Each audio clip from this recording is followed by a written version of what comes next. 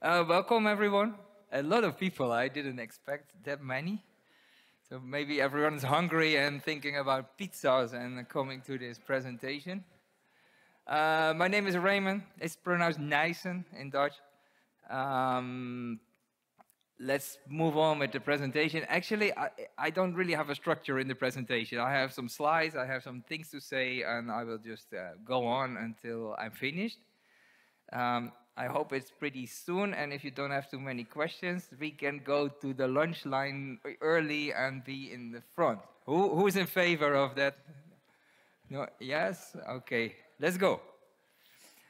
Um, so I'm Raymond, and I'm a freelancer in open source, a contributor to QGIS since 2011, I think, was my first uh, Hackfest or contributor meeting and I'm the, the chairman or the president of the QGIS user group in the Netherlands. I'm an OSGeo charter member. Easter eggs. Um, I thought they were not so famous, but suddenly yesterday morning in the Anita's presentation, there were Easter eggs and there were pizzas, and I didn't know about that. Um, Easter eggs are, are hidden features in software. So it's when developers think that it would be fun to make like a small thing that maybe adds something funny or uh, sometimes they put their own names there so you can figure out who are the developers uh, of, of a piece of software. Many software uh, desktop programs mostly have some kind of funny thing. If you look for them on the internet, you will find what to do. I remember in Excel a long time ago, you had to go to cell 100, um, A100 or something, and write something funny there, and then um, a pinball game would start, or I don't know. Um, QGIS has a few of them. Um, oh, this is the, the Wikipedia explanation of the Easter eggs. Um, and they are written in the coordinate bar. We are going to do this later. I will just first finish my slides, otherwise I have to go to QGIS and back to the uh, presentation up and down, and it takes forever. Um, you can write words there and something will happen. And the three ones that I will be using during, uh, during the demo are worlds, hackfest, and contributors. Uh, we do that later. And there are many more, and you can figure it out. So what is a contributor meeting? Um, contributor meetings are the, the places where um, where the, the developers or people that contribute to QGIS, that make QGIS, come together and, um, I don't know, work together on the software. They hardly ever meet each other, and uh, then once or twice per year, they go to a certain location and they sit together, they work all day. It looks like a bunch of nerds with laptops. I will soon show a, a picture of that. Um, they used to be called Hackfest, but at some point was not allowed anymore because it sounds like we were hacking the bank or whatever. So then they turned into developer meetings, and then we also wanted to uh, people that are not developers to feel welcome to the to the uh, meetings. Uh, so now they are contributor meetings, which is super long and hard to pronounce, I would say. So they're still called Hackfest by the people going there.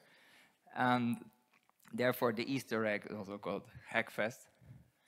Um, they're super important because of meeting sometimes humans meeting each other is a good thing and to sit together to discuss things not on a mailing list but just on a table and having a coffee with it or a glass of beer and figure out what should be the future of QGIS. Um, they're also very productive because you are away from your normal work and desk and you sit down in a room and you can have dedicated time for, uh, for developing or for working on QGIS. Uh, and they're fun because you go to a certain place like Bratislava or Nordebo, Nordebo, or Nordebo, Nordebo in Denmark, um, or anywhere else. You know the names of the, the versions of QGIS. Those are the places where people have been to together and worked on, on QGIS. So there are some nice and exotic ones, I think. Um, in Vienna was one, the last one in 2023. Uh, and tomorrow uh, until Friday will be uh, a, a, contributor meeting, a Hackfest, in the, um, Bratislava. Now, it looks like this. This was the, the one in 's-Hertogenbosch uh, in the Netherlands. Um, so, yeah, people sit together and there are plugs and there's uh, Wi-Fi and there's coffee and, and there's time to work. And uh, people are sharing, sitting together, showing each other things that they've been working on, uh, asking each other, like, hey, should I do it this way or another way? Uh, teaching each other. Um, yeah, it's just like that. Here's one more. Um, and this is maybe my most important slide. No pizzas involved yet, right? Um, if you want to join one of the meetings, and I hope you want, and you are super close to it, right? Because you are already in the right location, and it's starting, I would say, hours from now, tomorrow morning. So um, if you are able to stay a bit longer in Bratislava, uh, feel welcome to go to the contributor meeting and um, meet with the people, ask what you can do. Uh, there's really tons of things that needs to be done that don't have anything C++ programming involved. Um, I made a short list, but yesterday Anita had a super long list, and I think even there could be more, more items. You can also come up with your own idea that you think would be super good for QGIS. Um, and as I said, they are fun, so I really hope you, uh, you will feel welcome. The last one uh, contributor meeting I went was in Vienna, which was a officially OSGeo code sprint that was also kind of turned into a QGIS uh, contributor meeting. And um, I, I, went there, and it was nice, and it looked again like a bunch of nerds with laptops sitting together and, and Wi-Fi and coffee. Um, and there was a, a, I thought, what should I work on? And there was an annoyance because there's something in QGIS that, uh, that I don't like.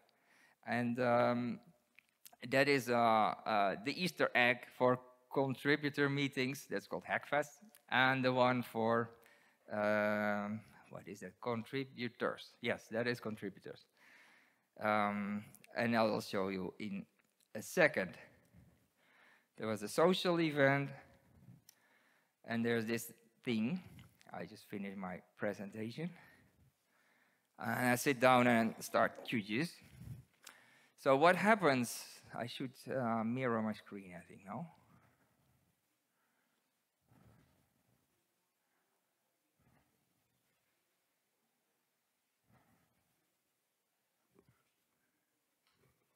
Is that working? I think so. So I have a few uh, QGIS versions here, and if I start 330, the most beautiful named version, um, and I start a new project, let's start to just use that Easter egg. So you double click or three, three times click in the coordinate bar, but that normally shows the coordinates when you move your mouse uh, over the, the map canvas. And I type world, which was the first one. Enter. This is the, uh, the world map. Um, that is, that is, yeah, I don't know, that is, um, QGIS contains a world map. And someone thought, when we have a world map anyway, it's actually used to, if you choose a different coordinate system, you see a small map where the, where the uh, coordinates or the extent of the system uh, is. Uh, that's why there was a, a, a, map. And then someone thought, why not making this Easter egg and show the map? And actually, it's kind of maybe was meant in a funny way. But I use this really often because it's super convenient. If you don't know where your data is, you get whatever shape file from the past and you open it and you have some points on your map and you don't know where. You just type world, you get a world map and you see where the points go. So it's, um, it's a very nice one. I'm actually in this strange profile here, uh, so I hope everything will, will work. And now I type Hackfest. And you get this. And this was also meant to be funny, I think. It was added six years ago. And you see these things are, are, are turning, which was new back then, because you could have some kind of uh, update, map update every second, and then uh, recalculate the points.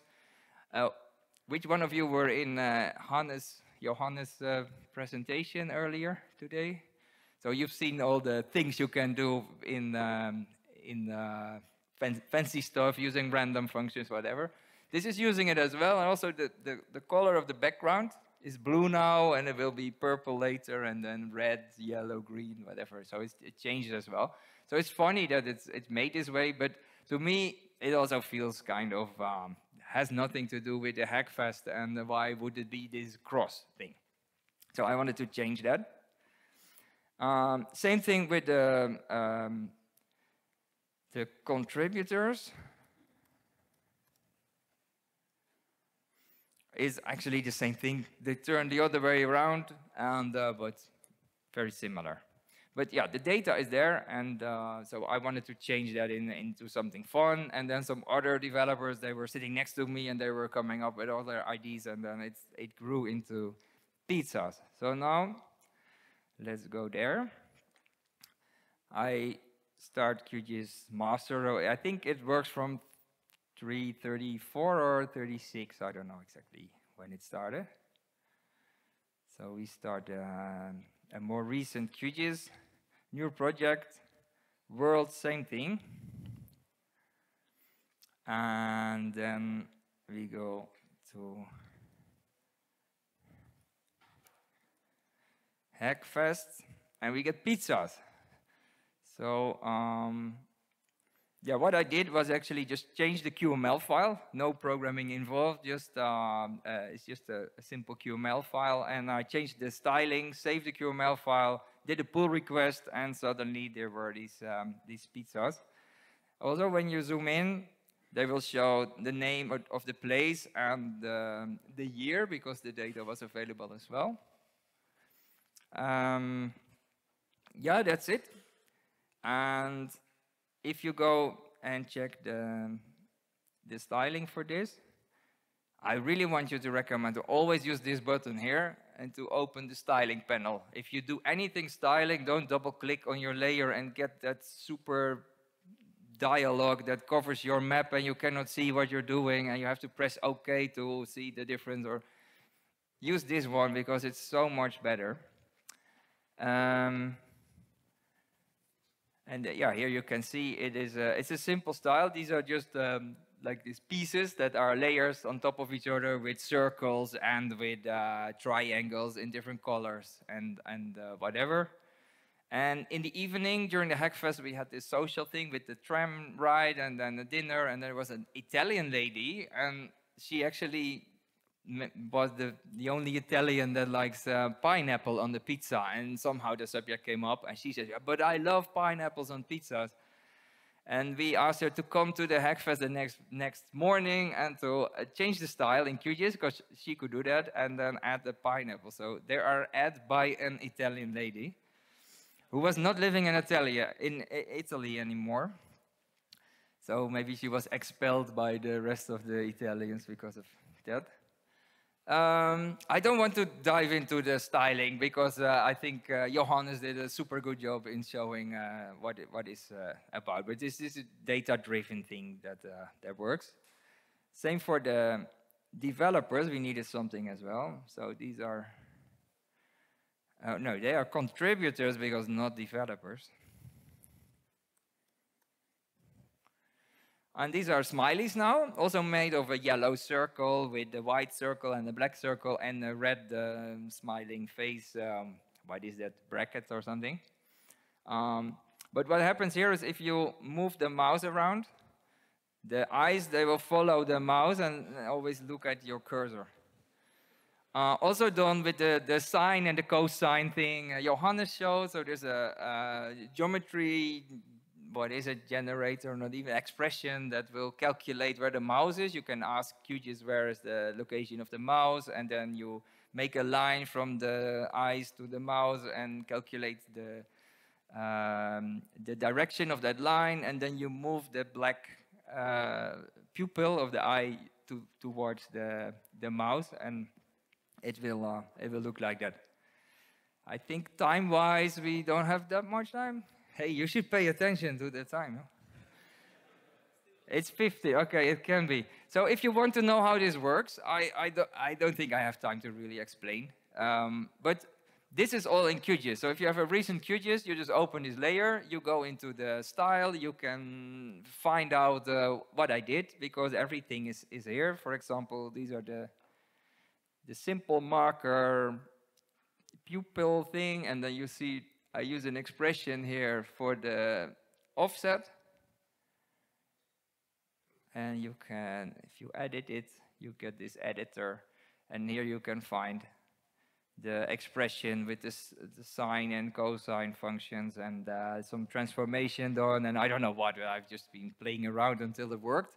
They sometimes look a bit creepy or like cross-eyed. I don't know. I did. Uh, it's not perfect yet. So if you find a way to fix that, Hannes, then you can do a pull request and uh, make it more, more beautiful.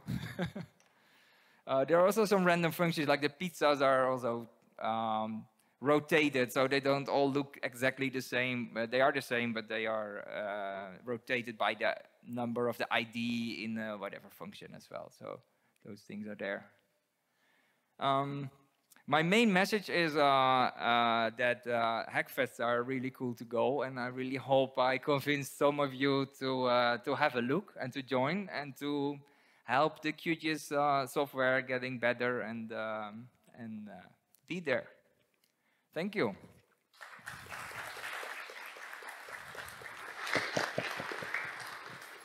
Thank you, Raymond. is anyone have any question? Oh, where is the kind Hackfest of- tomorrow? It's forbidden to do questions. No, Yeah. no, no, we can do that, of course.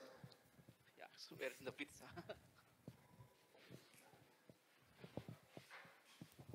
Thank you, Raymond. I can see it from here, but do all pizza symbols have pineapple?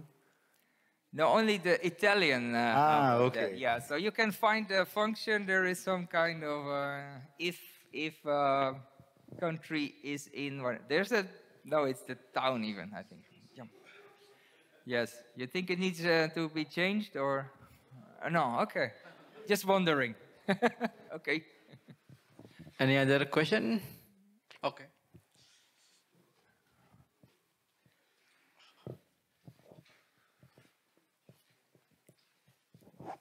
Thank you, uh, Raymond. Um, I'm wondering, what is your favorite pizza? My favorite pizza is uh, is Hawaii, but we it didn't. It's also my favorite Hackfest location, but it both didn't happen. if there's anyone from Hawaii here, then I would like to to uh, talk to you. Okay, any other pizza question? No, it's lunchtime. yeah, I think it's lunchtime. So the Hackfest will be tomorrow until Friday. Uh, Uh, yeah, the next three days Yeah, will be there. If you want to go there on the main uh, page for the uh, the conference page, there is a, a block around uh, about the, the contributor meeting, and if you want to go there, there's a link. You go there, you go to a GitHub page. You end up in the more nerdy area, maybe. But there's a table on GitHub where you can uh, edit the table, put your name there, uh, which is nice because we will know who's coming and how many people are coming. And also, it's nice to sometimes you meet people in a hackfest and you forgot the names, and you can go back there and, and find out who they were and uh, uh, and how you can reach out to them. okay. Thank you very much and give applause for Raymond from the rest. Thank you.